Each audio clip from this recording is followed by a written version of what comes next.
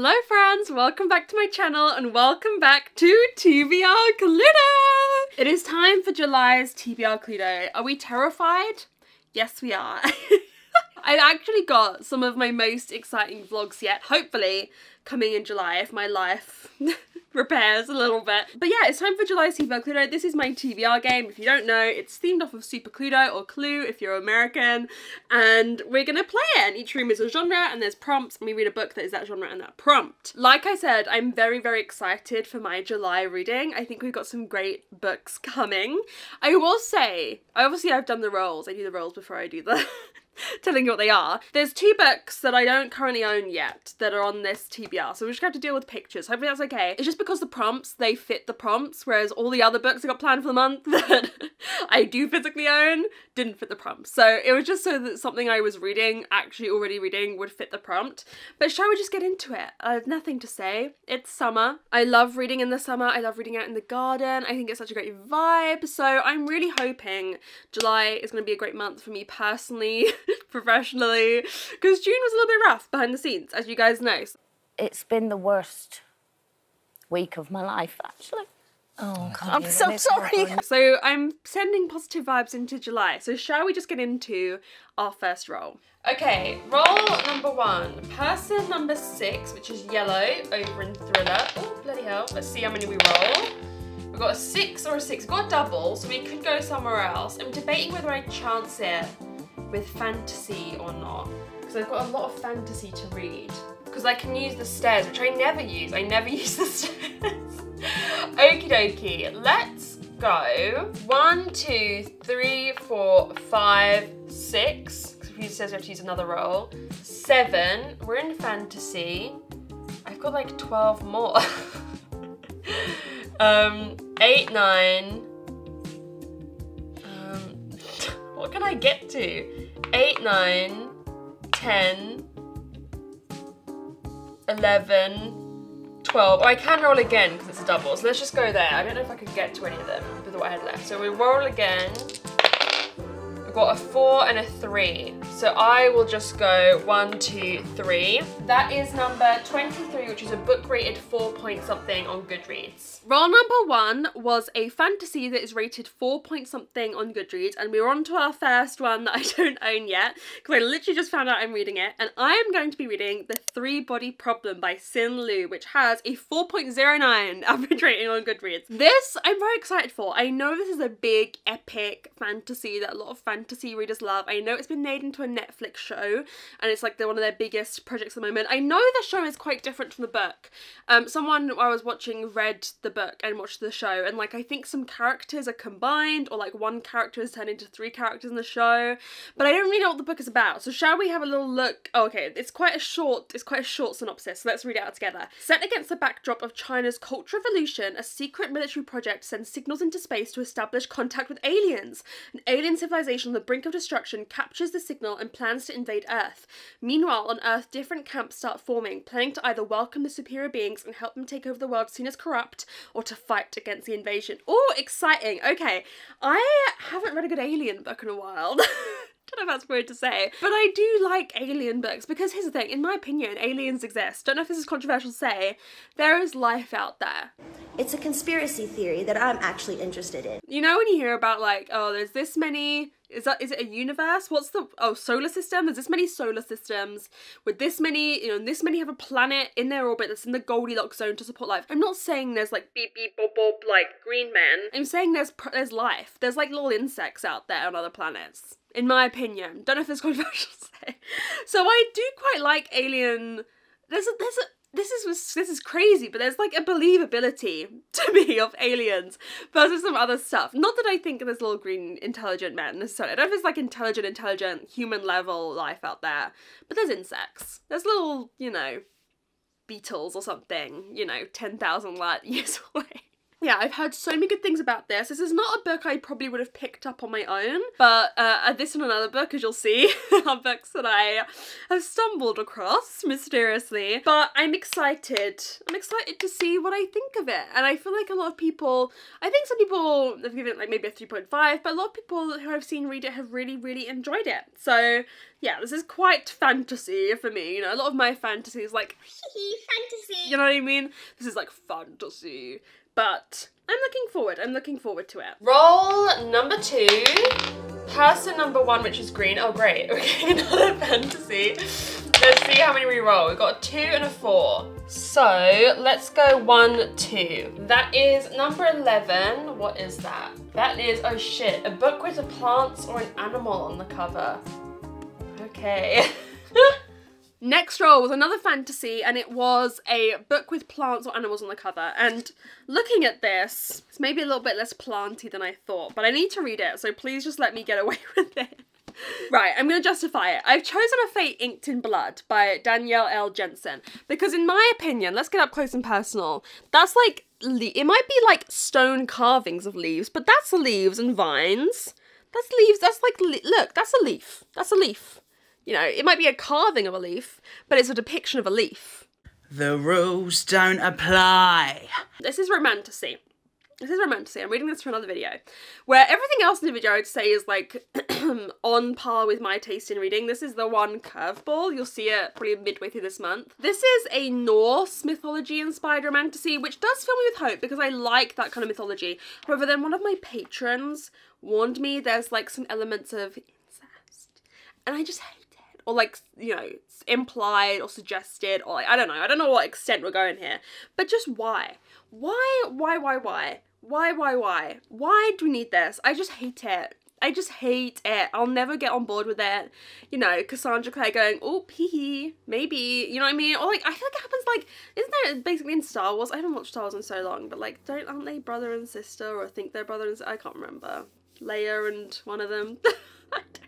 I just don't, I just, I want to unsubscribe from this narrative. I, I might exit this Yeah. conversation Why? now. No, I want to have it. Maria. yeah, I'll see y'all later. Also, apologies for getting a plane, my window's open because it's boiling. You might be asking, Megan, why are you wearing a long sleeve? This is still summer coded to me. Also, I just want to talk about how I've been outside a lot and my face has been tanning a lot. So I've had to start darkening using like bronzy drops to darken my foundation because when I put my normal foundation on, I looked like a ghost. However, I'm wearing clothes often when I'm outside. Well, always. I don't go outside and tan intentionally. So like my chest has not tanned at all. I feel like I'm looking insane, but like there's no what's the balance here? Like I put my own foundation on and my face looks like a ghost. It looks wrong.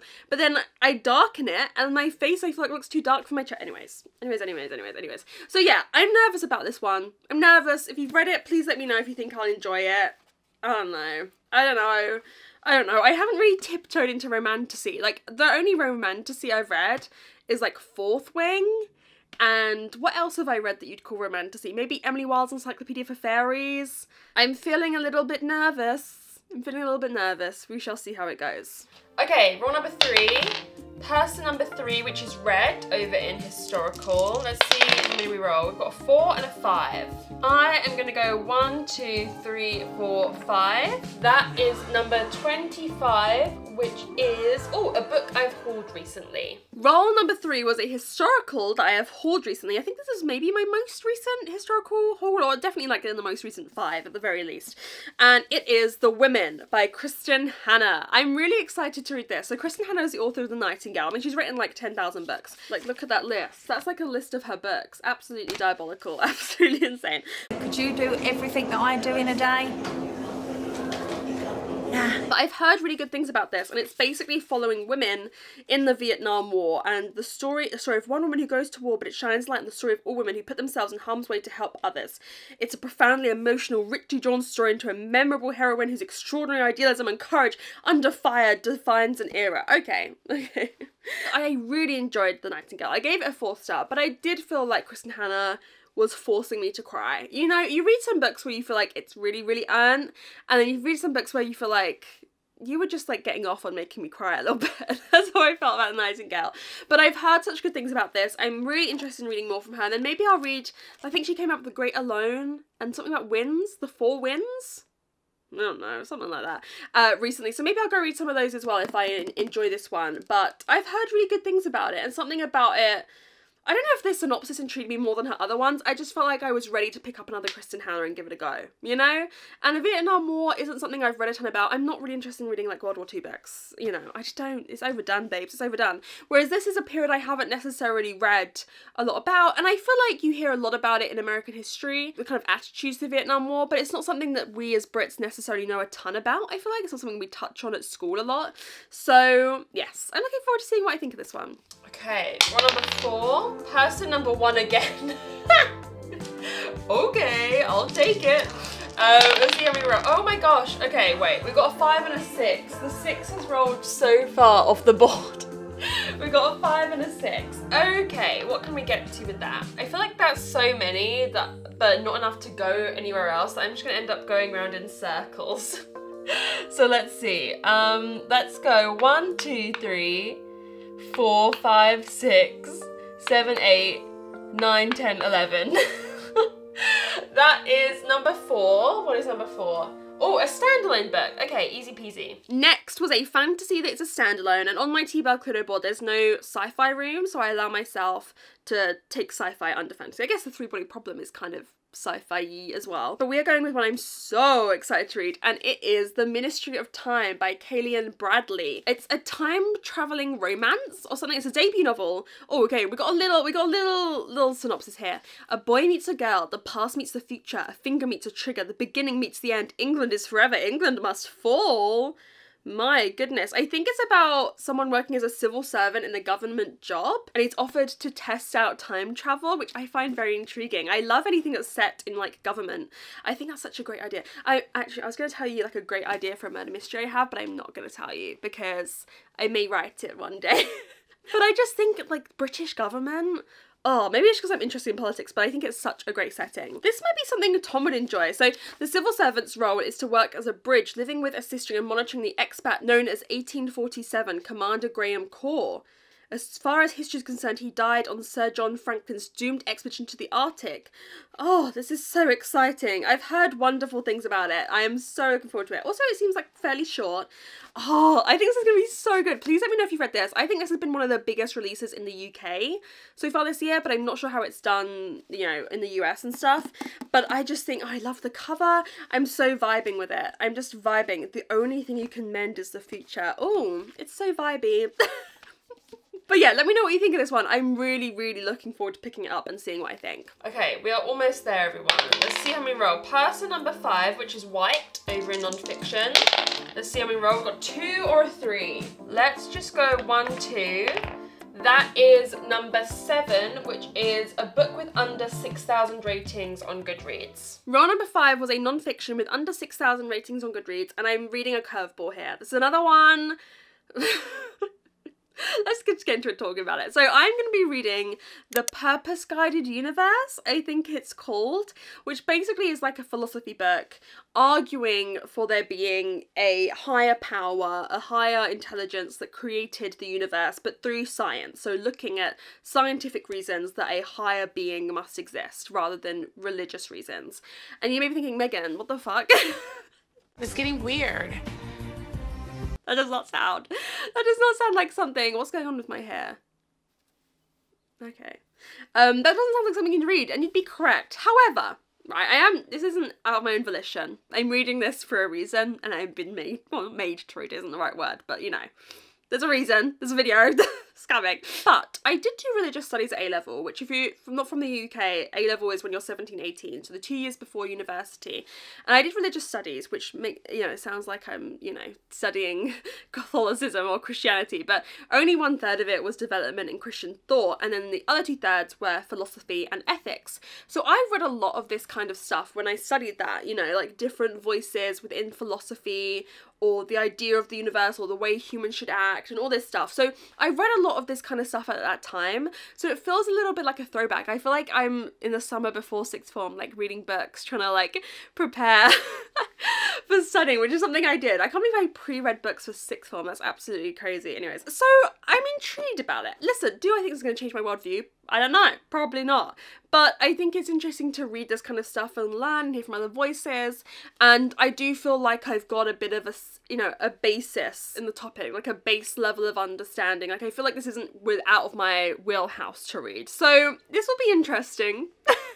but it doesn't have any ratings. I think it has like 100 ratings on Goodreads. So yeah, we shall see. We shall see what I think of it. And then final roll, roll number six, we've got person number three, which is red, a bit historical. Let's see how many roll. Oh, we got a double again. We got six and a six. Okay, I'm feeling like a thriller maybe. So let's use the doors again. Oh my god, we've used the we've used the stairs twice when we haven't used them in in years. Okay, so let's go one, two, three, four, five, six, seven. Where do I want to go? Eight, nine, ten, eleven. No, that hasn't worked. Where did I get to? Ah! Wait. One, two, three, four, five, six, seven, eight, nine, 10, 11, 12. There we go. That is number 13, and that is a gifted book. Okay, interesting. And then our final roll was a thriller that was gifted to me, and this is the one I gave to my patrons to vote on. So they vote on one round every month, and that ends up being our book club pick. So not only are they voting on something they want me to read, they're voting on what they want to read. And I picked four books that were gifted to me or sent to me. Basically, with TBR Cluedo, I allow myself to include books that were sent to me by publisher or like a book box that I didn't pay for or whatever. Anything like that I allowed to fall under this category because I don't have like a publisher sent. So it's all included in this prompt. And the options that I gave them were What Lies in the Woods by Kate Alice Marshall, Midnight is the Darkest Hour by Ashley Winstead, Night Watching by Tracy Sierra, and Stay Awake by Megan Goldin. And we had a lot of comments, people excited about this selection and trying to choose what to vote for. And let me tell you, it is maybe, I haven't gone back and checked, but I feel like it is the closest poll we've ever had because there was one vote between these two. One vote. One vote between these two books, between Night Watching and What Lies in the Woods. And I can tell you that the winner is What Lies in the Woods by Kate Alice Marshall. I am surprised. I thought Night Watching would win, but Kate Alice Marshall won. So this is about four friends who, when they were younger, went into the woods and one of them was stabbed attacked by this man and she survived and she identified her attacker. And he was then identified as a serial killer having killed six women.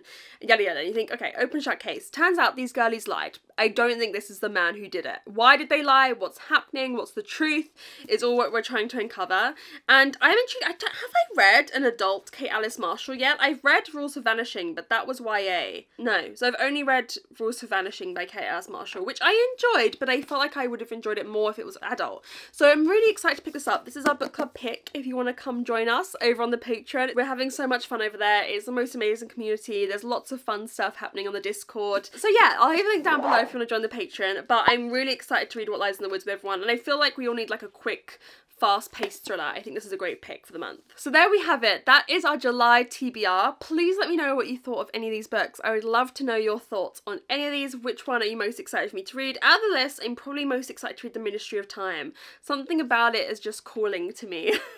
but thank you guys so much for watching and I'll see you very soon in another video. Bye!